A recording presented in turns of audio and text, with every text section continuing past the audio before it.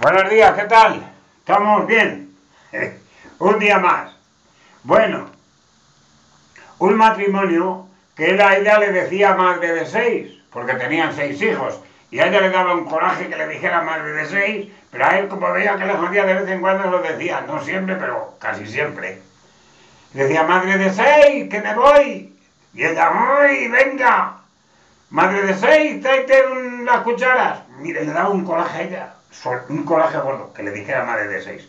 Pero mira que un día iban de boda los dos y dice, mira, no se te ocurra decirme delante de nadie, madre de seis, eh, que, que, que, que, me divorcio. Dice, venga, no te preocupes.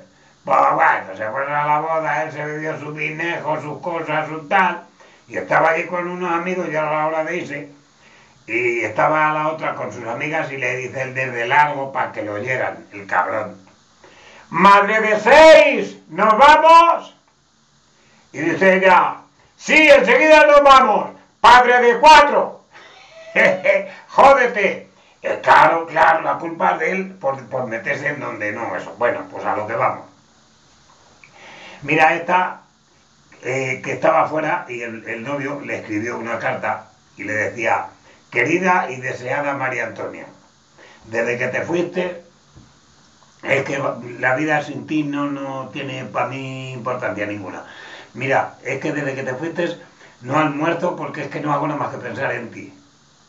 Tampoco como, porque es que, que pienso en ti a todas horas. Y lo que es cenar, cenar, nada. O sea, tampoco porque es que, es que no hago nada más que pensar en ti, ¿sabes? Y dormir no duermo porque tengo más hambre que el copón. Eso lo dijo. Y llevaba razón, llevaba razón del todo. Bueno, y ya terminamos con este por ahí. Le dice la profesora a un chico, que el chico era de también. A ver, José Luis, ¿cuántos glóbulos rojos tiene el cuerpo humano? Y dice, 300. Dice, no, no, no, más, más, más. Dice, 7000. Dice, más, más, más. Dice, 14.000. Dice, mucho más. Di una borriquería. Dice, me cago en tu puta madre.